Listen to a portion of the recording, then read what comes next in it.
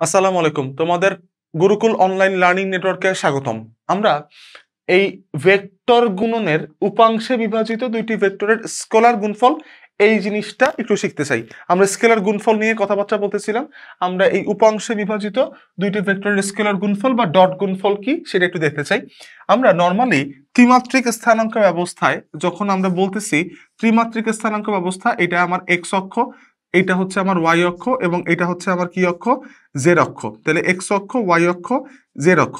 এই এক্স অক্ষ বরাবর আমি একক ভেক্টর আই বলতেছি এবং এই ওয়াই অক্ষ বরাবর একক ভেক্টর জে জে এবং জেড অক্ষ বরাবর একক ভেক্টর হচ্ছে কে এখন আমার প্রশ্ন হচ্ছে, আমি যদি এখানে একটা এ ভেক্টরকে প্রতিপাদন করি, তাহলে আমি এখানে বলতে পারি A vector is equal to এইটার জন্য আমি মান পাই এ এক্স এইটার জন্য আমি মান পাই এ ওয়াই এবং এটার জন্য আমি মান পাই হচ্ছে এ জেড তাহলে আমি এ ভেক্টর ইজিক্যাল টু বলতে পারি, আগে পরে বহুবার দেখলাম, সেটা হচ্ছে A X I vector plus A Y J vector plus A Z K vector তাহলে এইটা আমরা আমরা বলতে পারি, ঠিক আছে?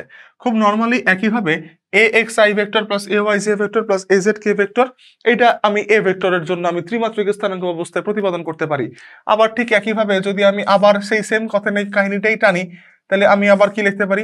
এটা হচ্ছে এক্স অক্ষ ওয়াই অক্ষ জেড অক্ষ, একক ভেক্টর আই তারপরে জে তারপরে হচ্ছে কে তাহলে আমি এখান থেকে কি করতে পারি? এখানে আমি যদি বলি এখানে আরেকটা ভেক্টর, সেই ভেক্টরটা যদি হয় আমার বি ভেক্টর তাহলে আমি বি ভেক্টরের জন্য কি করতে পারি? এখানে B X I vector plus B Y J vector plus B Z K vector তাহলে আমরা এখান থেকে যেটা করতে পারি সেটা হচ্ছে যে এই এতটুকুর জন্য এই এক্স অক্ষ বরাবর আমি বি ভেক্টরের মান বি এক্স পাবো। এখানে পাবো বি ওয়াই এখানে পাবো হচ্ছে বি জেড তাহলে আমি যেটা লিখতে পারি B X I plus B Y J plus B Z K তাহলে দুইটা ভেক্টর যেহেতু পেয়েছি, তাহলে এই দুইটা ভেক্টরের কি করতে পারি? এই দুইটা ভেক্টরের ডট গুণটা আমি একটু দেখতে পারি। এই দুইটা ভেক্টরের ডট গুণ, অর্থাৎ A vector dot B vector এই A vector dot B vector is equal to কি হবে? এই A vector dot B vector is equal to আমি যখন লিখব মানে এ ভেক্টরের মান কত? মানে A X I vector plus A Y J vector plus A Z K vector into B X I vector plus B Y J vector plus B Z K vector তাহলে এখানে আমরা কি পাচ্ছি? এই ডটটা পাইলাম আর কি। মানে আমরা এখানে কি পাচ্ছি? ডট মানে ডট গুণফল।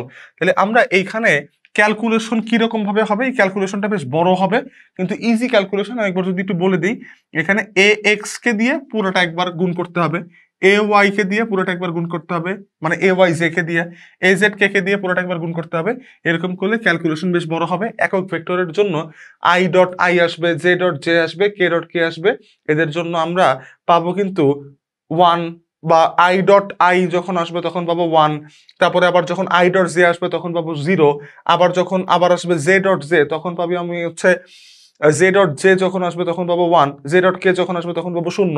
মানে এইরকম ভাবে রোটেশনাল ক্যালকুলেশন করলে দিন শেষে আসলে যেটা দাঁড়ায় সেটা হচ্ছে A vector dot B vector is equal to আমরা বলতে পারি A vector dot B vector is equal to দিন শেষে যেটা দাঁড়াইলো সেটা হচ্ছে আমরা পাবো হচ্ছে আমরা পাবো হচ্ছে A X B X plus A Y B Y plus A Z B Z তাহলে A X B X plus A Y B Y plus A Z B Z তাহলে A vector dot B vector খেয়াল করি ভেক্টরের গুণে scalar রাশি আসলো, এখানে কিন্তু কোনো ভেক্টর নাই। এ এক্স মান এ ওয়াই বি এক্স মান। তাহলে এই, এইখানে এ এক্স এটা কি? এক্স অক্ষ বরাবর মান। এইটা কি? বি এক্স বি অক্ষ মানে এক্স অক্ষ বরাবর মান। তাহলে এখানে এ এক্স বি এক্স মান এ ওয়াই বি ওয়াই মান এ জেড বি জেড মান। তার মানে এইখানে আমি কিন্তু শুধুমাত্র মান পাচ্ছি, তার মানে আমি আসলে একটা স্কেলার রাশি পাচ্ছি। এখানে ভেক্টর ভেক্টর গুণ করলে আমি কিন্তু একটা স্কেলার রাশি পাচ্ছি। এই জন্যই আমরা এই স্কেলার গুণ ফলে ভেক্টর এবং ভেক্টরের গুণে স্কেলার গুণ পাচ্ছি এবং স্কেলার রাশি পাচ্ছি। এই জিনিসটা হচ্ছে স্কেলার গুণফলের জন্য আমার প্রতিপাদ্য সূত্র। তাহলে আমি A dot B is equal to পাচ্ছি A X B X plus A B plus A Z B Z তাহলে এই স্কেলার গুণফলের যদি আমি মান বের করতে চাই, তাহলে এইটা কিন্তু আমার মানের জন্য কাজ করবে। স্কেলার গুণফলের মান যদি বের করতে চাই, মানের জন্য কাজ করবে। আবার যদি আমি যখন বলব যে A vector dot B vector এটাও কিন্তু সূত্র হইতে পারে। সেটা হচ্ছে কি modulus of A modulus of B তারপরে কি কস থিটা যখন আমি দিক বের করতে চাবো, তখন এখান থেকে থিটাটা কিন্তু বের করে আমি কিন্তু স্কেলার গুণফলের দিকটা বের করে ফেলতে পারব।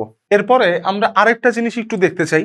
স্কেলার গুণফলের জন্য একটা স্পেশাল অপারেশন এই জিনিসটা আমরা একটু দেখতে চাই। সেটা হচ্ছে, আমরা যদি এই জিনিসটা দেখি যে দুটি ভেক্টরের দুটি ভেক্টরের অন্তর্ভুক্ত কোণ অন্তর্ভুক্ত কোণ নাইনটি ডিগ্রি হলে, দুটি ভেক্টরের অন্তর্ভুক্ত কোণ নাইনটি ডিগ্রি হলে তাদের ডট গুণফল শূন্য হয়। দুটি ভেক্টরের অন্তর্ভুক্ত কোণ নাইনটি ডিগ্রি হলে তাদের ডট গুণফল তাদের ডট গুণফল শূন্য হয়। কীভাবে? একটু খেয়াল করি। দুইটা ভেক্টরের অন্তর্ভুক্ত কোণ, একটা ভেক্টর যদি এ ভেক্টর এই দিকে হয় এবং আরেকটা ভেক্টর বি ভেক্টর যদি এরকম হয়, তাহলে এদের অন্তর্ভুক্ত কোণ, অর্থাৎ এ ভেক্টরের উপরে বি ভেক্টর যদি লম্ব হয়, অর্থাৎ এ ভেক্টর লম্ব যদি হয় বি ভেক্টর তাহলে আমি এই দুইটা ভেক্টরের মধ্যবর্তী কোণ পাবো কত? নাইনটি ডিগ্রি তাহলে মানে আমি এখানে একটু খেয়াল করি, অন্তর্ভুক্ত কোণ যখন নাইনটি হচ্ছে, তখন আমি সূত্রটা একটু ইউজ করি A vector dot B vector আমার কি আসতেছে? Modulus of A modulus of B cos theta আমরা জানি। কস থিটা মানে কি? এ ভেক্টর বি ভেক্টরের মধ্যবর্তী কোণ। মধ্যবর্তী কোণ যদি নাইনটি ডিগ্রি বসাই, তাহলে কি আসতেছে আমার এখানে? আমার এখানে আমার এখানে কিন্তু কস নাইনটি তাহলে কস নাইনটির ভ্যালু কত? কস নাইনটির ভ্যালু কিন্তু জিরো তার মানে আমি এখানে পাচ্ছি হচ্ছে A vector dot B vector এইটা কিন্তু জিরো তার মানে আমরা যখন বলতেছি যে দুইটি ভেক্টরের অন্তর্ভুক্ত কোন নাইনটি হলে তাদের ডট গুণফল শূন্য হয়, এই হচ্ছে তার কথা। দুইটা ভেক্টর এর মধ্যবর্তী কোণ নাইনটি ডিগ্রি হয়েছে, তাহলে মধ্যবর্তী কোণ নাইনটি ডিগ্রি হলে কস নাইনটির ভ্যালু হয় জিরো যেহেতু কস অপারেটর এখানে আছে। তার মানে আমরা এখানে পাচ্ছি এদের ডট গুণফল শূন্য হচ্ছে।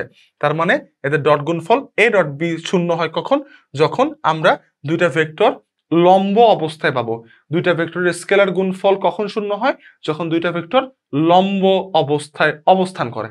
অর্থাৎ আমরা এখানে মোটামুটি ভাবে আমরা A vector dot B vector is equal to zero এই কথাটা যদি বলতে পারি, আমরা আরেকটা জিনিস শিখছিলাম, সেটা হচ্ছে যে A vector dot B vector is equal to আমরা এখানে কি বলতে পারি? সেটা হচ্ছে A X B X plus A Y B Y plus A Z B Z এই জিনিসটা কিন্তু শিখাচ্ছিলাম।